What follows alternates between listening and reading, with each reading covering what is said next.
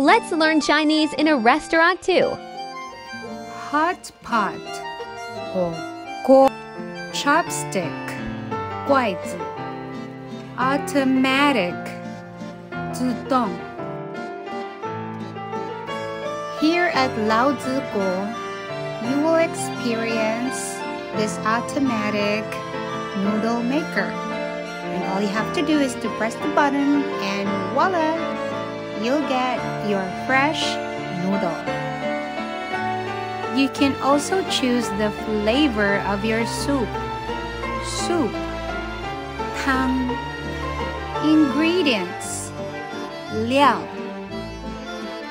meat, raw. And maybe you're like me.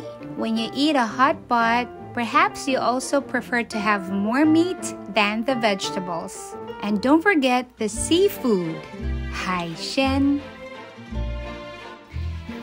Finally, for the main part of eating hot pot in Taiwan, you'll have your fresh ice cream.